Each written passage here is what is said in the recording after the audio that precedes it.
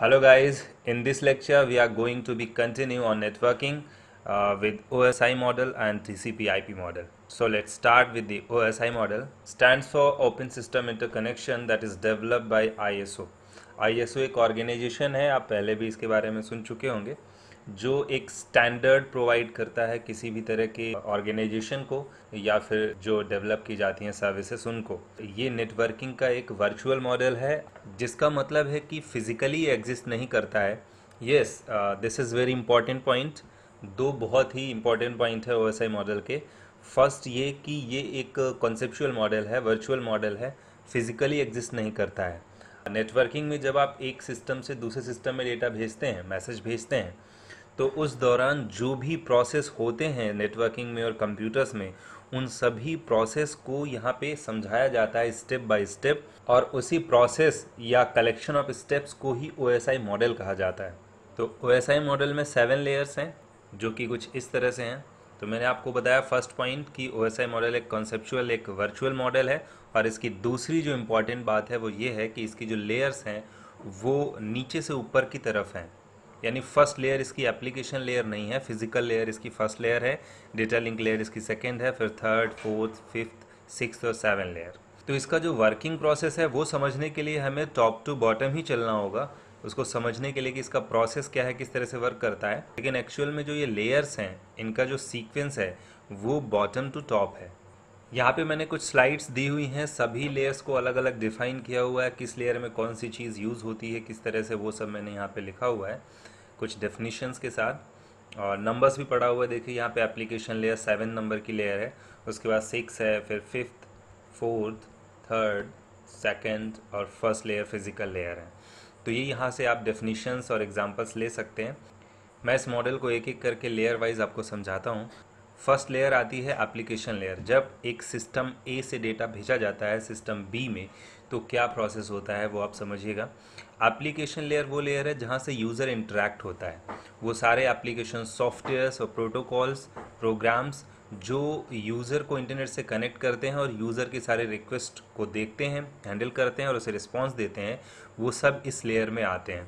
जैसे कि एफटीपी है, जैसे कि वेब ब्राउज़र्स हैं, जैसे कि टेलनेट प्रोग्राम है, ये सब एप्लीकेशन लेयर पे काम करते हैं यूज़र से इनपुट लेते हैं और उसे आउटपुट देते हैं।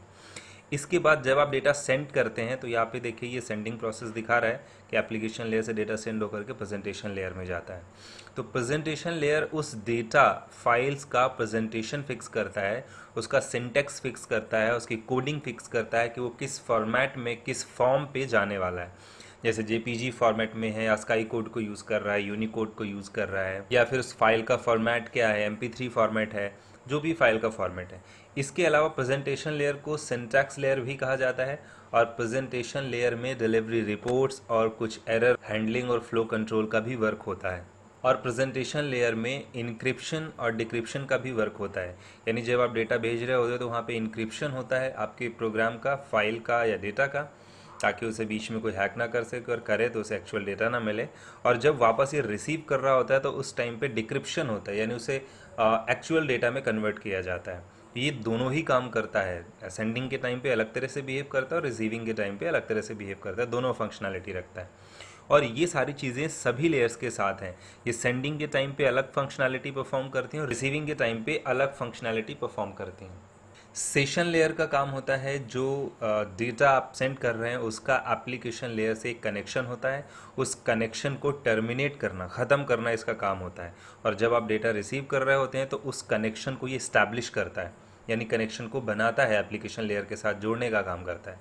इसके अलावा एप्लीकेशन लेयर में जो भी सॉफ्टवेयर चल रहे हैं या डायलॉग्स चल रहे हैं, उनका सेशन क्रिएट करना और टाइम टू टाइम उनको क्लोज करना, ये काम भी सेशन लेयर में ही, भी होता है। फ्रेंड्स इसके अलावा आप बहुत सी चीज़ें या प्रोटोकॉल्स या प्रोग्राम्स आप ऐसे भी देखेंगे जो एक साथ कई लेयर में यूज़ होते हैं। तो इसका ये मतलब नहीं है कि अगर एफटीपी प्रोटोकॉल यहाँ पे लिखा हुआ है एप्लीकेशन लेयर में तो वो यहाँ पे नहीं आएगा, वो यहाँ पे भी आएगा। इसलिए क्योंकि वो प्रोटोकॉल अपने आप में एक इतनी बड़ी फंक्शनैलिटी रखता है कि उसका कुछ पार्ट एप्लीकेशन लेयर की तरह काम करता है तो वो यहाँ पे आ जाता है। और उसका कुछ पार्ट ट्रांसपोर्ट लेयर की फंक्शनैलिटी के साथ भी यूज़ होता है तो वो यहाँ पे भी रखा जाता है। सेशन लेयर के बाद डेटा निकल करके ट्रांसपोर्ट लेयर में आता है और ट्रांसपोर्ट लेयर में डेटा के चंक्स बनाए जाते हैं, टुकड़े बनाए जाते हैं उसको सेंडिंग के लिए। इसके अलावा जितने भी ट्रांसमिशन के दौरान यूज़ होने वाले प्रोटोकॉल हैं वो सारे प्रोटोकॉल यहीं अटैच किए जाते हैं आपके डेटा फाइल्स के साथ डेटा चंक्स के साथ। तो ट्रांसपोर्ट लेयर ट्रांसपोर्टेशन का काम करती है। इसके बाद आती है नेटवर्क लेयर तो नेटवर्क लेयर में जो भी डेटा के टुकड़े यहाँ पे आए हैं उन टुकड़ों को पैकेट के फॉर्म में कन्वर्ट किया जाता है, यानी उसमें और भी बहुत सारे इन्फॉर्मेशंस और पैकेट्स के सीरियल नंबर नेटवर्क लेयर में ऐड किए जाते हैं।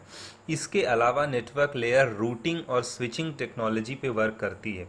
यानी आपका डेटा जो जाने वाला है, वो किस रूट से जाने वाला है और कौन सी स्विचिंग टेक्नोलॉजी यूज़ करने वाला है। पैकेट स्विचिंग, मैसेज स्विचिंग, इस तरह की सेल स्विचिंग कई तरह की स्विचिंग टेक्नोलॉजी होती हैं। उसका मैंने अलग से लेक्चर बनाया हुआ है, आगे वो लेक्चर आएगा तो आप उसमें देख सकते हैं। तो जिस तरह की स्विचिंग टेक्नोलॉजी और जिस तरह की रूटिंग को यूज़ करने वाला है रूट्स कौन से फॉलो करने वाले हैं, वो सब डिटर्मिनेशन या नेटवर्क लेयर में होता है। इसके बाद आता है data link layer data link layer के दो पार्ट हैं। एक होता है मैक मीडिया एक्सेस कंट्रोल और एक होती है layer L L C logical link control. तो ये दोनों लेयर मिल करके डेटा लिंक लेयर को कंप्लीट करती हैं। डेटा लिंक लेयर ही वो लेयर है जहाँ पे डेटा को एक्चुअल ट्रांसमिशन वाले फॉर्म में कन्वर्ट किया जाता है। यानी जब डेटा ट्रांसफ़र होगा तो हो सकता है वो एनालॉग फॉर्म पे ट्रांसफ़र हो या डिजिटल फॉर्म पे ट्रांसफ़र हो, बिट्स के फॉर्म में, इलेक्ट्रिक पल्स के फॉर्म में। तो जिस फॉर्म में भी ट्रांसफ़र होगा उसको उस फॉर्म में कन्वर्ट करने का काम डेटा लिंक लेयर का है। इसके अलावा जो नेटवर्क लेयर में एड्रेसेस मिले हुए होते हैं, उन एड्रेसेस को पैकेट्स के साथ जोड़ना और उन पैकेट्स को कंप्लीट करना, ये काम भी डेटा लिंक लेयर में होता है।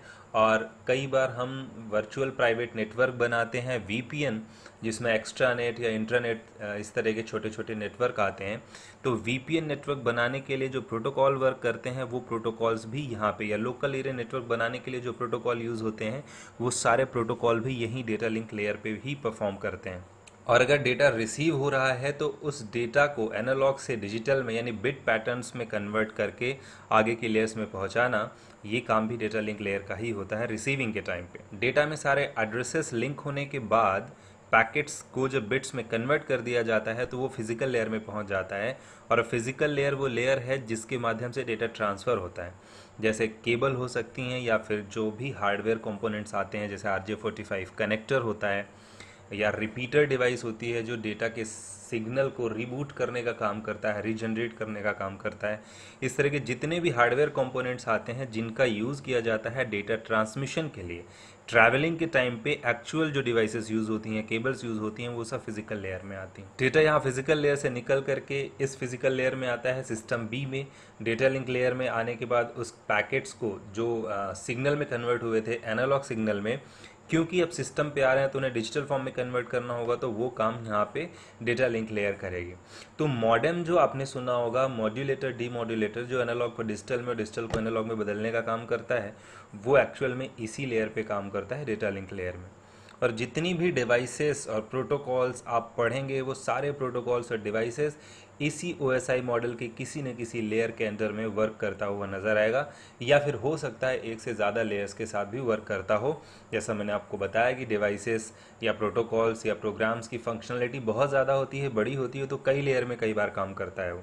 इसके बाद नेटवर्क लेयर में उसकी रूटिंग और स्विचिंग को आइडेंटिफाई किया जाता है, उसे एक्चुअली रिसीव किया जाता है, किस रूट से आया, उसकी इन्फॉर्मेशन निकाल के रखी जाती है एड्रेसेस निकाल के रखे जाते हैं और उसे ट्रांसपोर्ट लेयर पे भेज दिया जाता है।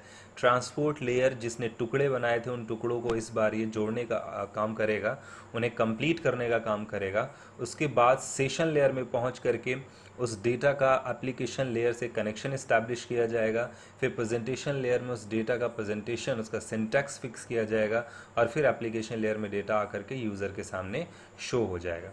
इन्हीं लेयर्स के बीच में एरर डिटेक्शन और एरर करेक्शन का काम भी होता है, उसके फ्लो कंट्रोल को भी देखा जाता है। जैसे प्रेजेंटेशन लेयर इसके अलावा data link layer transport layer इन लेयर्स में एरर डिटेक्शन का काम भी होता है कि हमारा जो डेटा यहाँ से निकलने वाला है, वो फ़िज़िकल लेयर तक पहुँचते पहुँचते करप्ट ना हो जाए या किसी तरह की अगर कोई प्रॉब्लम आ रही है किसी भी लेयर में तो उसको इन्फॉर्म करना यूज़र को कि हाँ ये प्रॉब्लम आ रही है सेंडिंग के टाइम पे।